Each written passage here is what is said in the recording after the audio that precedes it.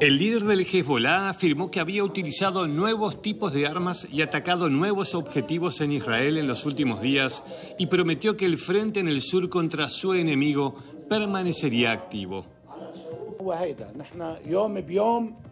نتطلع نقيم ننظر ونقرر ونعمل وستبقى هذه الجبهه ان شاء الله جبهه ضاغطه Fue el segundo discurso de Hassan Nasrallah desde que comenzó la guerra entre Israel y Hamas en octubre. En su primer discurso, a principios de este mes, dijo que existía la posibilidad de que los combates en el frente libanés se convirtieran en una guerra en toda la región.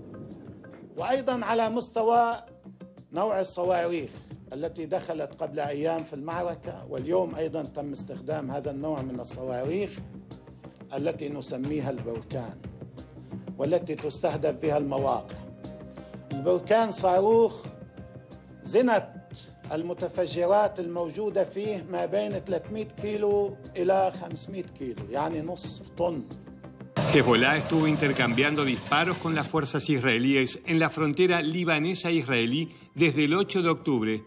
Al menos 70 de sus combatientes murieron. También se informó de la muerte de varios civiles.